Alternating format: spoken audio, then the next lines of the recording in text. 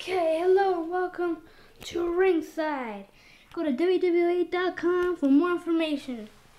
Hi, today it's Trevor the King Lawler and Michael Cole, but in the ring in Ringside.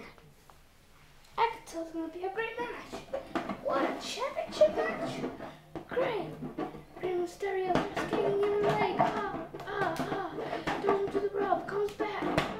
Ah. Trips on him. Then he gets him pushes him. Oh, oh no, this match is going great. He's going for a submission hold. He's getting him with submission.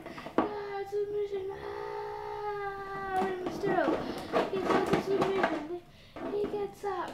He gets up fast. Aren't you trying to do his finisher? Oh, no,